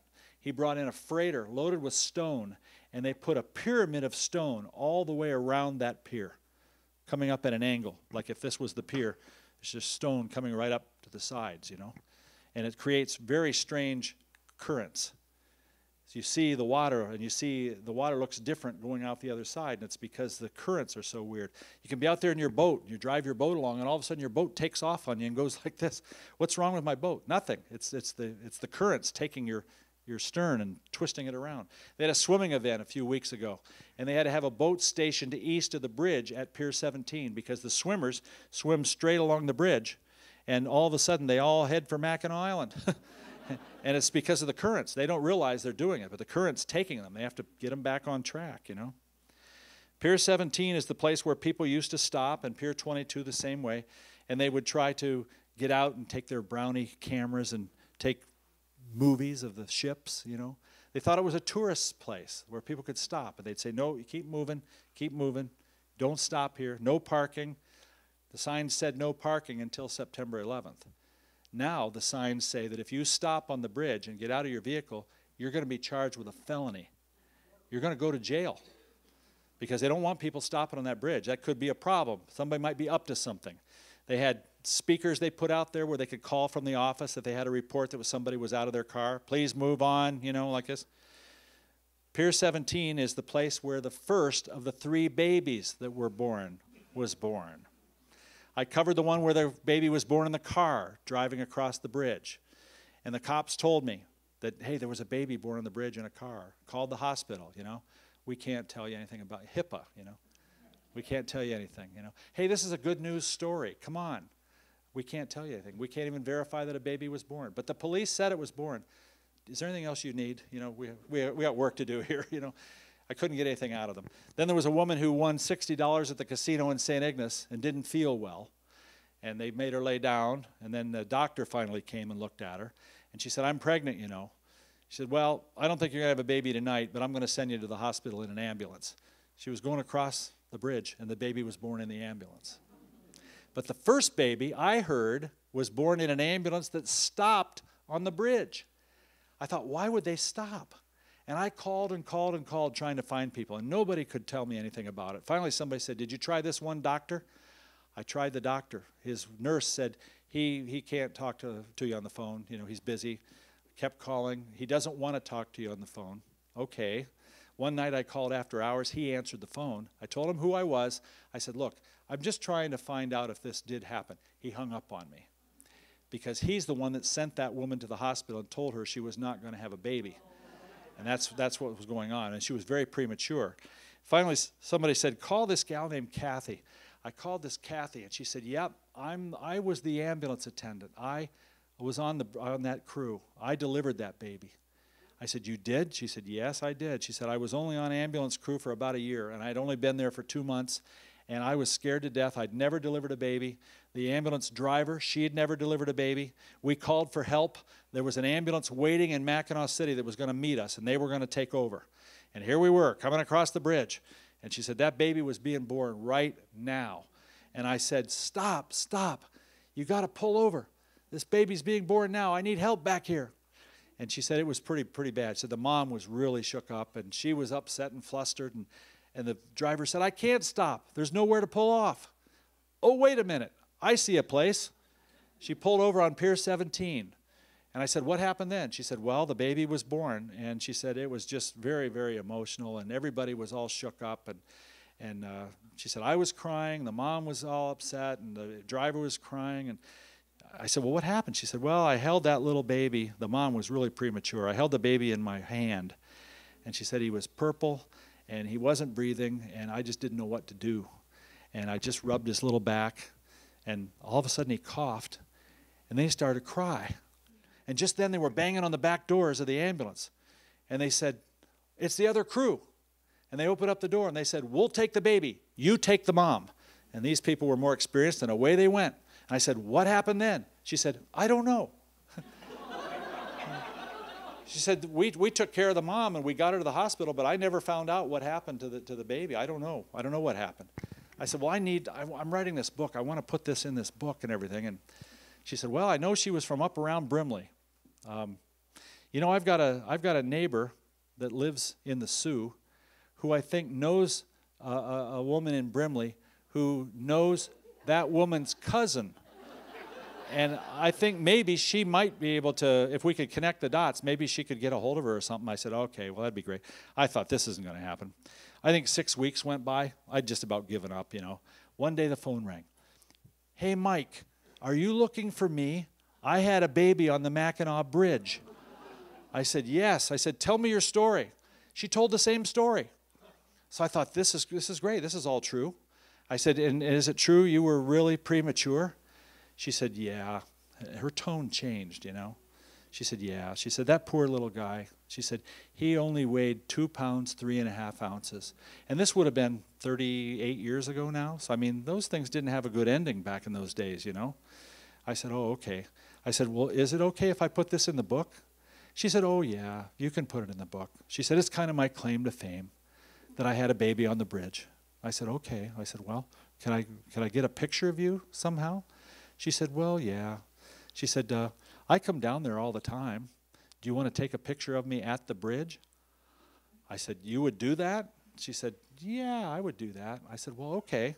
We set it up for Friday. Just before she hung up, she said, Mike, if you could wait till Monday, I could bring my son along. I said, Your son survived the birth? She said, Oh, yeah, he survived the birth. He's coming home Sunday afternoon from Iraq. The guy's a soldier. I thought this story's getting better and better. Monday morning, I was there. Here came this car pulled up. This scrawny little thin gal got out, waving at me, walking towards me. Out of the driver's side came this big guy, looked like a fullback, you know. He's walking towards me. I said, Sean, I said, it's nice to meet you. I can't believe that somebody as big as you ever weighed two pounds, three and a half ounces on this earth. He said, Yeah, I know. He's a big dude, you know. We had this all set up. You can't just drive out there and take a picture. So the bridge patrol was ready for us, and the bridge guy came over and said, Mike, are you ready? I said, Just about. We're waiting on one more. He said, Okay, well, you say when. And the mom looked at me and she said, One more? Who else are we waiting for? I said, Well, Kathy? She said, Kathy who? I said, Well, Kathy, whose friend called the neighbor who knew your cousin, who called you. And she looked at me. I said, Kathy, the ambulance attendant that delivered Sean. She said, Oh, she's going to be here? I said, Well, yeah, I thought she could be in the picture too. Is that okay? She said, Oh, I don't know, Mike. I said some awful things to her that day.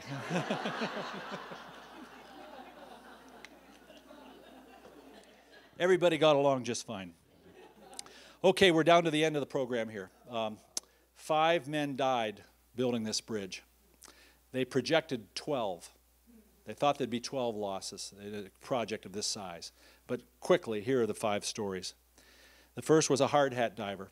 He was diving at the base of the south tower, came up too fast. They think he was climbing the line, and he got decompression sickness. He died from the bends. The second was a welder.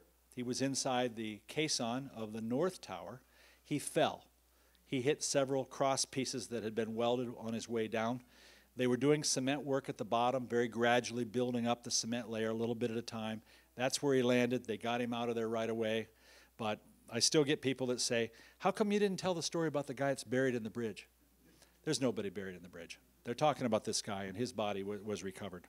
The third was a, uh, a laborer who was walking from his boat to his pier uh, towards Mackinaw City. There were a lot of people on the boat, and they were walking on a 14 inch beam, and it was only four feet above the water. And it was a windy day, it was wet, sloppy, blowing hard, and all these guys are in line going across this beam, and all of a sudden there's one in the water. And they said, Somebody hit the water, and they yelled, Man overboard! And everybody was watching for him to come up, and watching for him to come up. And all of a sudden they said, There he is. And he was way over here already. The current had taken him that fast that he was over here. These guys wore steel toed boots. Uh, you know, they had tool belts, uh, heavy Carhartts. I mean, nothing that you'd ever want to try and swim in. And he raised his arm and went below the waves and was not, not around. Nobody could get him. When they did recover his body, they found out he had a heart attack. Did he have the heart attack and fall in, or did he fall in and then have the heart attack? That's what we don't know.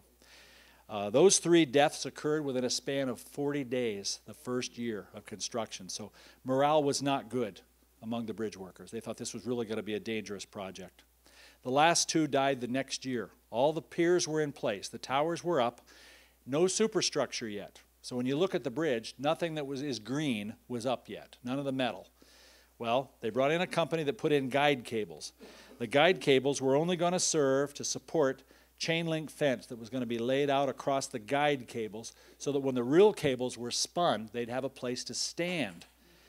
And this gives you an idea of how the chain link fence would work, and it's not even drawn taut yet, and these guys are actually walking on the cables. But this picture was taken well after the accident because it's very far down the slope. But they were just getting started. Big roll, huge roll of chain link fence brought up by a crane, top of the north tower, and they started to peel it off a little bit at a time, like you'd peel off tissue paper off of a roll. And as they did that and were starting to fasten it, the spindle in the middle of the, of the bale was attached to the tower, and the line that was holding it snapped. And the roll rolled forward, rolled two men into it, and fell from over 500 feet up. They didn't have a chance. Worst part is, those two guys were specialists at what they did. They were there in their first day on the job at the Mackinac Bridge, and they were killed. There's a, uh, a plaque and a statue to honor the memory of the men who died now in uh, Mackinaw City and in St. Ignace. Have you walked the bridge? Good. We had 30,000 yesterday. Uh, numbers are back up a little bit. It was 25 or 24 last year. The year before that, it was about 19, which is the lowest in a long, long time. And I'll tell you why. The very first year, they had a crowd about like what we've got in this room. It wasn't too many people. You're more used to seeing something like this. And uh, of course, in the last three years, you know, they've realized that we now live in a world where people will drive vehicles into crowds of people to kill. And they did not want that to happen on the bridge because if somebody drove a vehicle into a crowd like that, let alone the people that would be hit, but think of the people who would be knocked off the bridge, they just can't do that. Department of Homeland Security came and said, You guys are looking at a disaster here, waiting to happen. You know, you can't say it's not going to happen in, in St. Ignace because it's happening all over the world. All right. Well, they banned all traffic except for the school buses. The school buses, they ran 120 of them a year, and they take you one direction, Mackinaw City to St. Ignace. Then you walk back. It works no matter which direction you come from. You go across on the bus, you walk back. You walk over, you take the bus back, either way. Well, all the signs the state police put up about telling people not to come to Mackinac because the bridge was closed unless they were walking the bridge until afternoon, people didn't care. They drove on to Mackinaw City anyway. And the traffic jam was monumental, and there were thousands of people who wanted to walk the bridge who never got there, never got to Mackinaw City. Some of the bus drivers, the bus drivers had to be vetted. Department of Homeland Security had to vet them. What happens the first day of school? There's always subs. Some of the people that didn't come that day were replaced by subs. The subs weren't vetted. They wouldn't let them drive. The buses couldn't run. It was, it was a disaster. So last year, they said, that's it. No more buses, no more vehicles. All you can do is walk. Wow, did that change everything? They loved it. People got there, they did it. It was great. No fumes from vehicles on the, on the bridge, clean air, you can see everything. They had a great time. And now you can walk it in different ways. You can walk from either direction. You can go halfway and come back. You can walk all the way across and come back if you meet the time constraints. Uh, you can walk from St. Ignace. You can walk from Mackinaw City. This year, it was bigger than it had been. So I think it's catching on. It's safe, it's free, and everybody's having a ball. So that worked out really, really well. I think they've got it fixed now. I really do. Biggest crowd ever, 1992. I was there when the first President Bush walked the bridge. 74,000 people walked that year. Normally, we were getting around 50 or 60,000. We've got a ways to go to get it back up to those type of numbers. One year, some people said, Hey, we've got a square dance group. Can we square dance across the bridge? And they let them. the running races are gone now. The only time they let them run is before the bridge walk. Uh, my daughter and her husband came from Minnesota. They, they, they participated in a lottery and they got drawn, so they got to do that. That was a fun thing. But uh, used to have a fall and a spring run, no more. I mean, even if traffic's just normal traffic, what if somebody's distracted and they're messing around on their phone or something? They could hit somebody like that. Same way with the bicycle riders. That used to be a great time. They can't do that now because somebody could hit them just accidentally. It's just too much of a risk. But we still have the Corvette Crossroads. Uh, this weekend, we've got the antique tractors coming, 1,900 of them last year. We've had the uh, Mini Coopers, we've had the Jeeps, we had the, uh, the, the four wheelers, you know, the, uh, the off road vehicles, they, they come across. We have the antique autos. We have the uh, truck show in the fall. And that's all a big deal.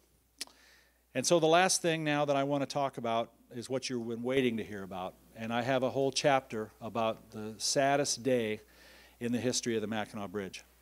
Leslie Ann Pluhar from Royal Oak, not far from here, lost her life on the bridge in an accident, a traffic accident. People say, Are you going to tell the story about the car that blew off the bridge? We don't really think that's what happened. What we think happened is she had a traffic accident on the bridge. And there's three ways to look at the story, and I tell all three ways in a whole chapter in the book about this incident. From the family standpoint, from the bridge's standpoint, and from the state police standpoint, and they all are slightly different. The skid marks showed that she was going between 64 and 67 miles an hour. The speed limit's 45. She was uh, driving a very lightweight car called a Yugo that they don't even make anymore, and she passed a semi. What happens on the interstate when you drive a normal car past a semi? You feel that. Well, that little car shuddered, and what we think happened was she probably straddled the median strip. The median strip is four inches high and 24 inches wide. They put that in to stop people like my grandpa from doing U turns, you know? And we think that that car got on the wrong side of that median strip. And unlike the rumble strips that we now hear on the road, where you just touch the wheel and you're, you're back off that rumble strip, well, she couldn't get the small wheelbase on the Yugo back over the median strip. And so after trying, she probably saw oncoming traffic. So she turned it hard. And at that speed, she flipped the car. And when she rolled the car, she had a rollover accident. She hit the side stay cables. It hit right across the back of the top of the, the car, and she spun around and she fell 170 feet into the water. And she entered the water, they think, from the marks on the car, upside down and backwards. Now, if you can imagine a more horrific way to die, it's, it's hard to. Um, the sad part is the autopsy showed that she drowned. So she was alive when she hit the water. The state police did a great job of recovering her. She was, uh, you knew it was, you knew there was going to be a lawsuit, and there was, and I've got all the details of that in the chapter too. Um, the family had to wait two weeks for them to get the car off the bottom and to get it back. Had to, everything had to be preserved just as it was, you know. But uh, I've got pictures from the state police divers that have never been published in the book. This is the only one I show at the talks like this because she's actually in the vehicle here, but you can't see her. And so I show this photograph. But uh, that's what a Yugo looks like after it's hit the water and gone 153 feet to the bottom. She was right on the edge of a cliff where if, if the current had taken her further, she would have gone 300 feet down and that would have been really, really tough. The divers risked their lives to, to, to bring her back, and the family was adamant. They did not want any of the divers to be injured. They didn't want anybody to have a problem. They were, they were, it was just awful to watch this family suffer like that, you know. About 10 years later, by the way, the lawsuit was settled out of court, but I've got the details of that in the book. 10 years later, we had a Ford Bronco go off the bridge, uh, we believe on purpose and um, Richard Daraban was his name, and uh, the difference was that there was ice in the straits, and so that's different when you hit the ice. His body was thrown clear. They recovered him on the ice, but they did go to the bottom to get the car, and they brought it back. And it's hard to even see that this was an automobile.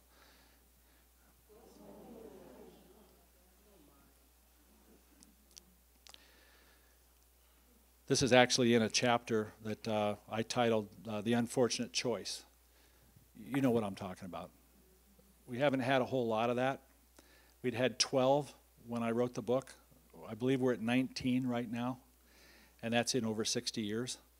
Uh, the Golden Gate has been up since the late 30s, and they are over 1,600. And they're putting a net under their bridge now because people ignore the signs that say do you need help? Call 1 800, you know, get somebody to help you. I give credit to the Mackinac Bridge workers. They're cutting the grass, they're welding something, they're fixing something in the shop, and they get a call hey, there's somebody up on one of the cables, there's somebody standing at the rail. And these guys aren't, and women aren't trained as psychologists or psychiatrists or, or counselors or mediators, but they go out there and they have saved lives. They've talked a lot of people down, talked them back and saved their lives. So I, I think they deserve a lot of credit uh, for doing the work that they do. Now we have a system underneath the bridge that moves the workers real fast from one place to another. So they don't have to climb up on the bridge to walk to get from point A to point B. They can go under the bridge. And that's good because they can see if there's anything under the bridge. If somebody's been messing around under there, they can tell, you know, which is a good thing for our safety. Now we've got cameras everywhere. The cameras are at the water, they're at the base of the towers, they're at the top of the towers, they're at the road deck, they're at the different stations along the road, they're at the exits, they're at the, uh, the rest areas, they're everywhere around the bridge, at the toll booths. If you're uh, anywhere near that bridge, you're on camera. And that's for a reason. Uh, that was bought with money from a grant after 2000, after September 11th. I wouldn't joke about terrorism, and that's what it's about. But you know the funny thing? You know what they see on the cameras more than anything else? When people run out of gas. And it happens an average of once a day. 360 people ran out of gas last year on the Mackinac Bridge. I don't know if they think the gas is cheaper in St. Ignace or Mackinaw City, but they go for it and they, they run out, you know. This is the view out my dining room window. I never get tired of it. It doesn't matter if it's nighttime or daytime, winter or summer, uh, stormy, calm, nice. I, I never get tired of looking at that bridge. I just think it's so wonderful. You know, it stands for Michigan. It makes me so proud to live in Michigan, where this is our icon. This is what we're about, is this beautiful bridge that's connected our Straits of Mackinac. And uh, I think you're probably as, as, proud of it as I am, you know. My name is Mike Fornes. I wrote a book about how the Mackinac Bridge was built. And uh, the subject of my talk tonight was all the things that have happened on the bridge since it's been up. If you come to Mackinac, uh, visit any of the stores. They've all got the, the, the books in the stores. Uh, they're $30 books. Uh, when I come to events like this, I discount them to $20. So uh, if you'd like one signed, I'd be happy to do that. I'm uh, ready with change. I can take checks and I can do credit cards too, okay? what a wonderful audience you were. It was so fun to come and talk to you. Thanks for having me. Okay?